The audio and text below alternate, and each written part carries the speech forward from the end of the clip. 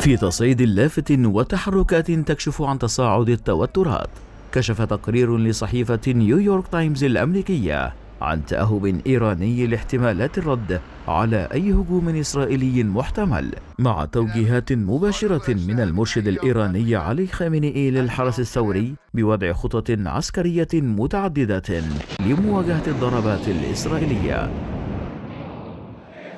التقرير استند إلى تصريحات مسؤولين إيرانيين. أكدوا فيها أن نطاق أي رد من طهران سيعتمد بقدر كبير على طبيعة الضربة الإسرائيلية خاصة إذا استهدفت البنية التحتية للطاقة أو المنشآت النووية الإيرانية أو إذا تضمنت اغتيالات لكبار المسؤولين.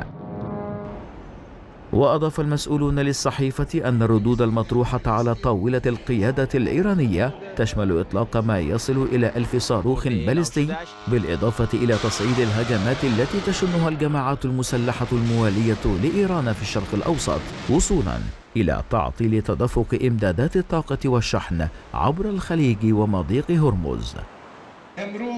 الرئيس الإيراني مسعود بيزشكيان توعد إسرائيل برد شديد وحاسم فيما أكد رئيس منظمة الطاقة الذرية الإيرانية محمد إسلامي أن طهران لن تتردد في توجيه رد مدمر حال استهداف منشآتها النووية.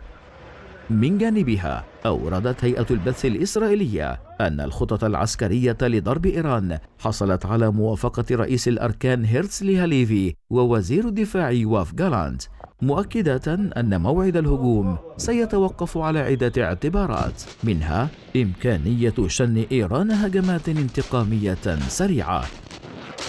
في ظل هذه الأجواء المشحونة يبدو أن المنطقة على حافة بركان قد ينفجر في أي لحظة مع احتمالات اندلاع مواجهة إقليمية واسعة النطاق في حال تحركت إسرائيل أو ردت إيران على نطاق واسع.